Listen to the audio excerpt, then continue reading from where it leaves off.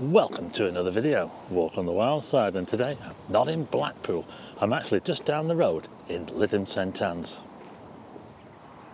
So I'm actually in Ansdell. Now Ansdell is situated between St Anne's and Lytham, yeah, so it's kind of like a buffer zone I'd say. It's pretty posh here. Uh, a bit of a buffer zone between St Anne's and I would say the more upmarket Lytham. I'm actually on Common Side here. This is called Common Side. Yeah, it's not very common though around here, I would say. Look at these houses here. Wow. Yeah, we're just coming up to the main drag here. This is Woodlands Road. A bit of a coffin dodger's paradise, if you ask me, actually. Let's go and check it out, shall we? Check out this hat that the post box has got. And look at that, it's more than a hat, it's actually a crown. Look at that there. Can you imagine if they put one of these on one in Blackpool? It wouldn't last long, would it? Look at that. Wow. So in this video I want to take you to George Formby's house which is just over in St Anne's but along the way I want to show you a bit of this place and Fairhaven. It's quite a walk though. So that's where I started just over there on the corner of Commonside and Woodlands Road here in Ansdell. And we're going to head up this way, we're going to go over the bridge over to Fairhaven and we'll finish up at George Formby's house. Now this place here, this used to be a Booths. A Booths, yeah, a very upmarket greengrocers Booths. It's now a co-op. They actually built a, a much bigger Booths just down the road. So we'll just have a little look at Ansdell. This is Ansdell. And like I say, it's a it's part of Lytham St Anne's. If you go to St Anne's, they have a a town hall there, and the town hall serves St Anne's, Lytham, Ansdell, and Fairhaven. But this place here is actually, well, it's actually uh, quite a lot to it. If you look at that building over there, look, they've got a public hall. Look at this building here, isn't it amazing? Public hall and Ansdell Institute. Isn't that posh there? Look at that. Yeah, just look at this building here, isn't it grand? Ansdell Institute. And uh, just over the road, there's a bunch of shops here. There's some dates over the road, 1903, this terrace here. In fact, there's another date up there that says 1905. So it gives you some idea of when all this was built here, when the town started to get going, sometime after Blackpool. A lot of people kind of uh, moved down here from Blackpool and they built Lytham St Anne's. We're just going over the hill now. Now on the right hand side of this hill is Royal Lytham Golf Course. We might just be able to have a little look at that.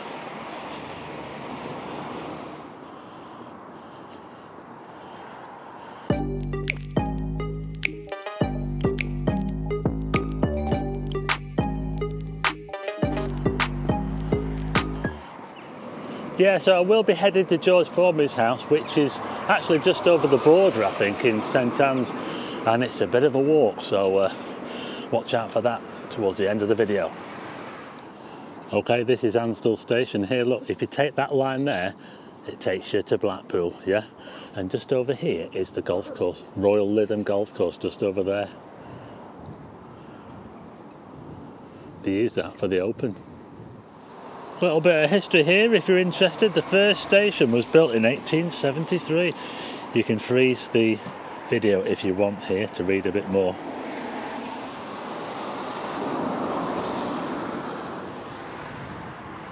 I tell you what, for a small town, it's got some pretty big buildings. Look at this one here. And that's an architect's style, but that must have been a bank, mustn't it? Look at that building there, isn't it grand?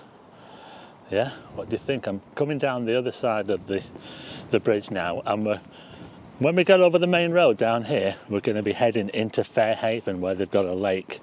So we'll check that out, shall we? They have got some nice architecture here in Ansdell. Look at that cherub up there. And this looks like it might have been a bank at one time as well. It's now a dental practice, Windsor House. Anyway, Here's a little look around. Another grand building on the corner there. So we're just coming down to the main road now, which is Clifton Drive.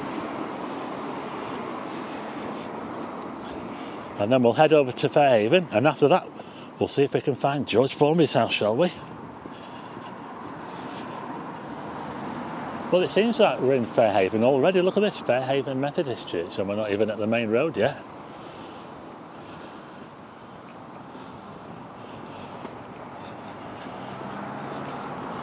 Yeah, so we're coming to the main road now. Oh no, it's starting to rain. Oh, what a nightmare. Okay, so I'm now on the main road. I had to take cover from that rainstorm. Yeah, it's all passed over now. We're just looking back towards Fairhaven Church there. That's Woodlands Road, Ansdell. Anyway, look at this place here, this shelter here. Look, Ansdell, Fairhaven. It's quite fancy, isn't it? Let's have a look in here, shall we? Check this out. Uh, interesting smell. Oof. I don't think I'd like to sit in here for too long. Trams in Lytham. Gas trams, look at that there. Bit of history there on the trams. Of course, they used to come to uh, to Lytham. Tell you what though, I don't like the smell in here. I'm getting out. Before we head to Fairhaven and the lake, I want to show you this building just up here. It's called the White Church. Let's go and check this out, shall we?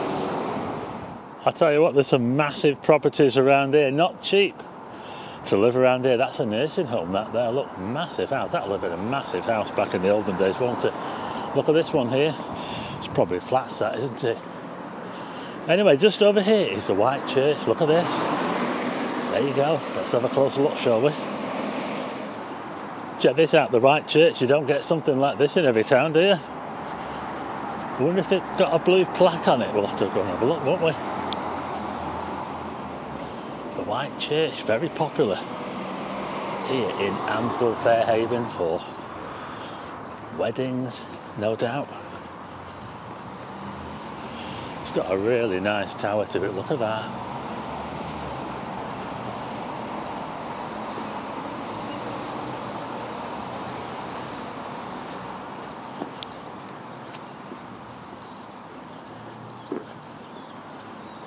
I think this is the entrance here but uh, can't see a blue plaque I'm afraid.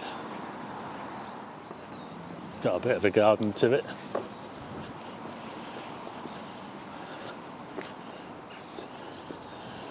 The organist has got his own parking space here, look.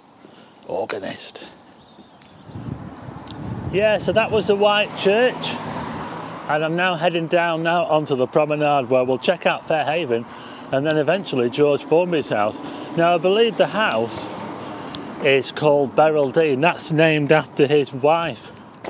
And funny enough, he only lived till um, 56, yeah. And his wife died, George Formby's wife, Beryl. She died before him. And it wasn't that long after she died that he uh, he got engaged to somebody else, a teacher, yeah, yeah. So there you go. So he lived in the they lived in the house until he died. And there is a blue plaque on the front which we can see. When we eventually get there.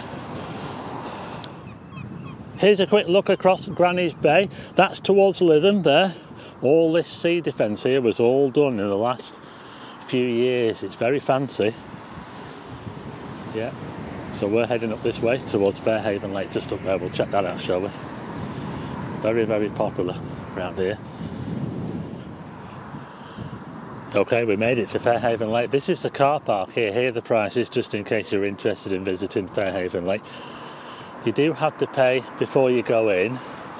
They've got a barrier here. There didn't used to be a barrier, by the way, in the olden days. You used to be able to just drive up here and uh, it got quite interesting at night, actually. So I think the re- one of the reasons why the, they ask people to pay now is uh, to try and stop certain behaviour that goes on at night. Just over there is the ice cream kiosk look. Fancy an ice cream. Not the best weather for it today. Anyway, just over here is Fairhaven Lake. Check it out. Yeah, even people around here need reminding to behave themselves when they're in this part of town. Here we are folks, Fairhaven Lake. Yeah, like I said, it's very, very popular. Really, really busy here in the summer. Families and that come here. There's a lot of wildlife goes on around here.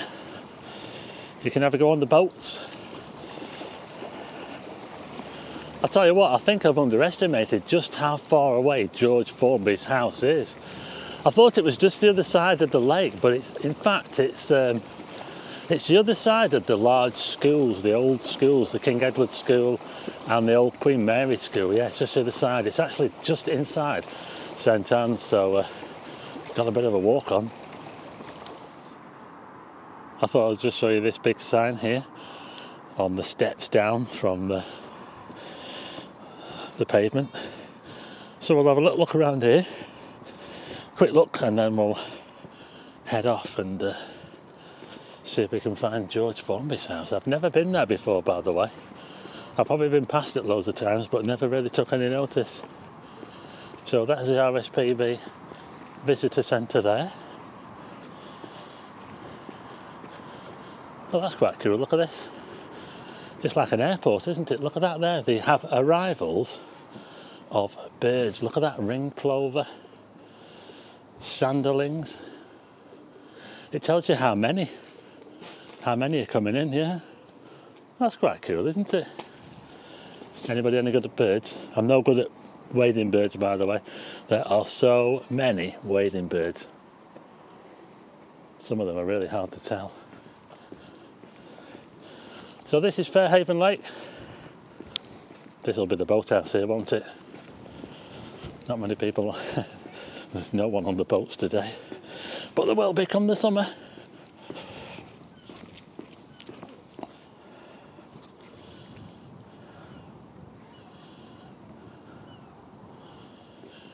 Just along this way, we've got what looks like a cafe up here, Lakeside Cafe. So there you go. This is Fairhaven Lake.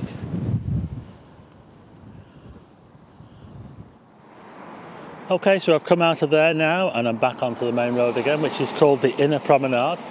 Check out this, we've got some charging points here for electric vehicles, but these are the slow ones, aren't they? These are the ones that you need to have your own USB cable for, aren't they, these ones? The slow chargers. Anyway, I'm now on this road, it's straight down here to George Formby's house. Got a couple of nice bowling greens there, look.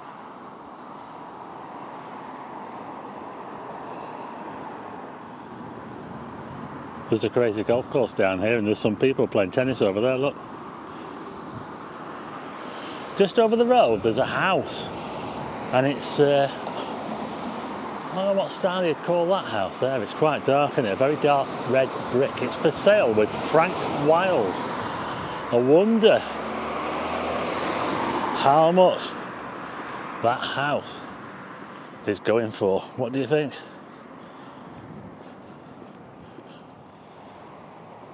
Okay, I finally made it to the other side of Fairhaven Lake and we're looking towards like the back end of uh, the old King Edward School. Yeah, here in St Anne's. We're actually in St Anne's now. This is now called AKS.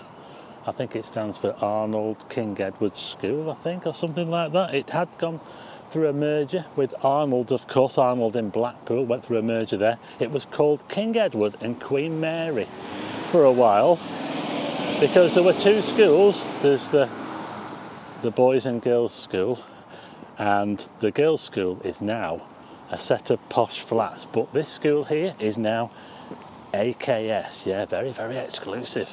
Anyway, we'll be going past that in a minute, but I just want to show you one more thing over here at Fairhaven Lake. It's the Spitfire. Let's go and check it out, shall we? And then we'll get to George Formby's house at last. So we're now at a car park on the other side of the lake, and I just want to show you down here, just got to show you this. We've got a full size model of a Spitfire just down here. Let's go and check it out, shall we? Now then, check this out. Look at that. Spitfire. We're not that far away from Warton, BAE, and I think this is something to do with the link with Warton there. We've got a little information on BAD 2, which was the Base Air Depot 2. Warton there. It's even got a pilot in it as well, look. Bit of info on the Spitfire there. The Supermarine Spitfire. There you go. So that was Fairhaven Lake anyway. We need to head towards George Formby's house. We're not that far away now. Okay, check this out. Look, there's a sign there. St Anne's on the Sea. But St Anne's on the Sea, Ansdell, Fairhaven, and Lytham all come under the same council, Fylde Borough Council. And the town hall is in St Anne's itself. Here we go. Hmm, get some coffee somewhere. So we're going to make our way around the back of this massive school here. And then finally, we'll get to the main event. I think it must be kicking out time because we've got a load of cars here, big Chelsea tractors, all that sort of thing. Yeah, so we're right round the back of the school there now, AKS. I'll tell you what, I can't believe just how far this is. It's a lot further than it looks on the map because, like I say, I've never actually took any notice of uh, George Formby's house before, but it's a lot further away than I thought. Anyway, we're almost there. Okay, I finally made it, folks. We're looking down King Edward Avenue there. Look at that there. That road there with the grass verge in the middle. But I can see the house now. It's just over here. There it is, and it doesn't look like it's had any modernisation done to it, which is really good. It's got a balcony as well. Look at that massive house. It won't have been cheap, will it? It's a good job a developer never got hold of it, otherwise they'd probably turn it into some big glass and steel carbuncle with LEDs all over it. But there you go, George Formby's house. This is it, folks. And there's the blue plaque. There's the blue plaque for you. I'll show you that. I can't go inside. It's 199, by the way. 199 here you go. This is what we've been waiting for. George Formby, OBE, George Hoy Booth, 1904 to 1961, musical entertainer, comedian, bought Sintra from, he bought Sintra from Tenor, Josef Locke in 1953, I don't know what that means. But here's the house, folks, isn't it nice? Yeah, there you go. We finally got here. Here's a little close-up of the blue plaque, there you go. 199, George Formby, there you go. We made it, folks there you go. So there you go, I finally made it to George Formby's old house here on the inner promenade in St Anne's. And by the way, I'm sweating a bit after that long walk. I didn't realise just how far it was from Fairhaven. I finally got there in the end. Anyway, I hope you like this video. If you do, hit the like button and also hit subscribe and tick the bell for notifications of new videos and I will see you again on the next one.